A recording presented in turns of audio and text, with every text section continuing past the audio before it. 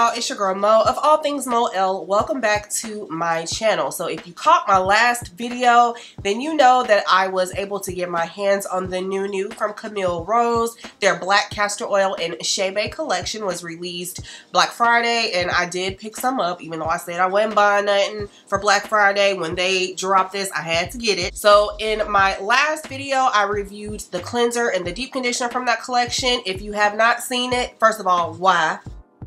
But I will leave it linked in the cards for you to check it out. But for today, I'm going to be testing the styler from that collection. This is their Black Castor Oil and Chebe Buttercream Strengthening Texture Butter. And I actually decided to turn this into a little battle because I had another um, styler from Camille Rose that's just been sitting in my collection. I have not used it, although I have had it for months. And I decided, let's turn this into a little battle. So I'm going to be comparing this product with Camille Rose's Honeycomb Curl Whip texture defining super cream and we are going to be doing a I think I'm going to do a Twaid out today. So if you're interested in seeing these two products in action then just keep on watching. But of course before we get into it I would love to have you as part of the Moellian fam. So please go down below and hit that subscribe button. And while you're down there hit the notification bell so that you will not miss when I post new uploads. So this product claims to be a rich oil cream butter crafted to restore moisture for thicker textures and set styles in place place. It could be used to moisturize the hair and set braids, twist, and bantu knots. And then this one is a defining super cream infused with honey and nettle, crafted to boost shine, eliminate frizz, and hold styles into place. And for this one, you can also use it to moisturize and set braids, twists, and bantu knots. So since you use these for the same purposes, I figured that they would be good to compare and contrast against each other. So my hair has been freshly washed and deep conditioned. I also went ahead and applied a leave-in conditioner. And for today's leave-in, I just decided to keep it in the Camille Rose fam. And I used the Honey Hydrate leave-in from the leave-in collection. This is one of my all-time favorite leave-in conditioners. So I think I will use this product on this half of my head and I will use this one on this half of my head. This is what my hair is looking like with just the leave-in in there. And if my hair looks shorter, by the way, it's because I have been snip snipping. Your girl has been scissor happy these last few wash days and I have just been snipping my hair. I honestly want to do a big chop because I just am tired of my hair if I'm being 100% honest, but I figured until I work my way up to a big chop, I'm just going to snip snip um, as I go. So that's what I've been doing and that's why my hair might look a little shorter. All right, so let's open her up. As far as the smell, the smell of this collection actually reminds me of like some old school hair products. I don't know which ones, but yeah. It's not my favorite smell, but it's not a terrible smell, so it's bearable. So as you can see, very thick, but it feels very buttery and creamy in my fingers.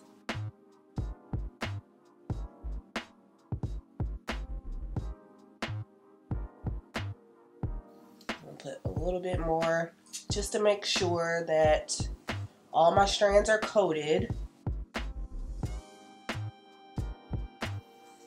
It feels really moisturizing on my hair so far.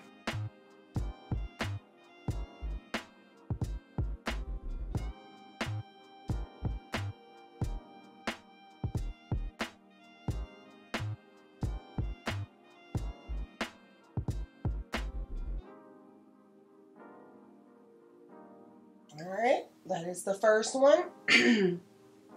So I'm literally going to just complete this side of my head. I'll fast forward that a little bit and then I'll come back when it is time to bust this one out for this side of my head. So stay tuned.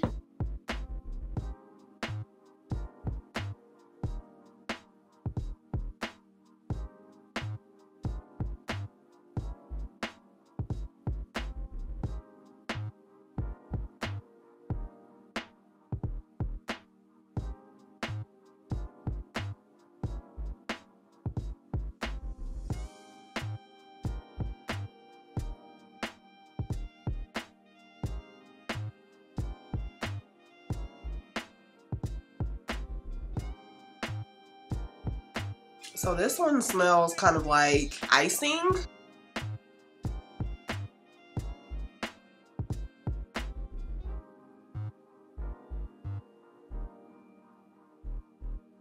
So I can immediately tell that it is not quite as moisturizing as the Black Castor Oil and Chebe Buttercream.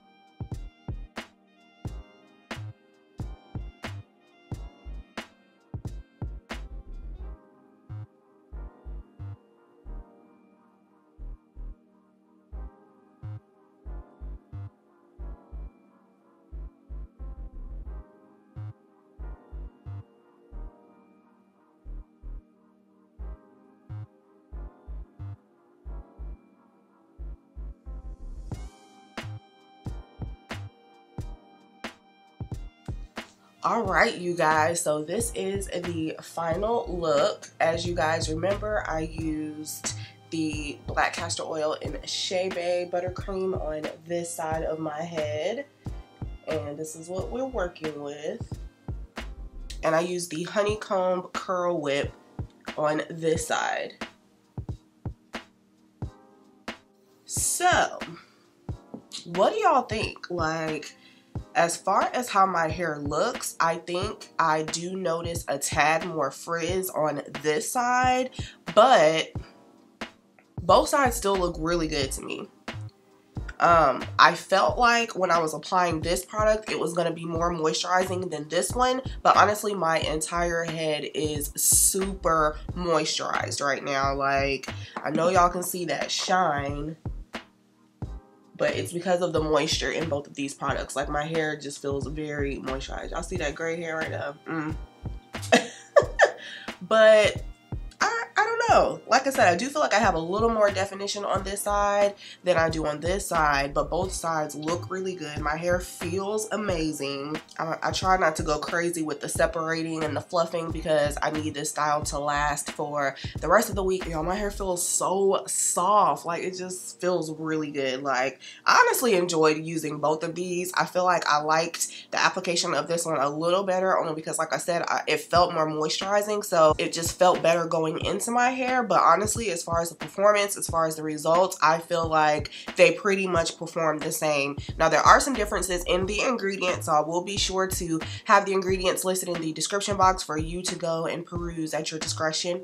But um, I like both of these, and I would continue to use both of these. As far as repurchasing, it just depends. I have so many twisting creams and butters. If I needed another twisting cream or butter, then yes, I would pick both of these up. But for right now, I don't think they would be a repurchase just because I have so many that I need to get through. But if I didn't have any in my collection and I was looking for um, a twisting cream or butter, then I would easily pick up either of these. I purchased this one from the website. It was $10 when I got it um, but I will leave the regular price in the description box. This one I picked up from Walmart and I do not remember how much it cost, but I will also leave the price in the description box as well. But yeah, I like both of these twisting creams. They both did exactly what I needed them to do for this twaid out and I'm pleased with the results.